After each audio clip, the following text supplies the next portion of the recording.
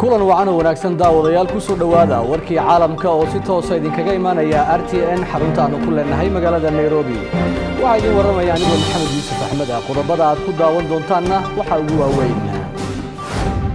Dowladda soomaaliya ayaa sheegtay in amniga magaalada muqdisho lagu wareejinayo ciidanka booliska soomaaliya kadib go'aan ay gaareen golaha xukuumadda.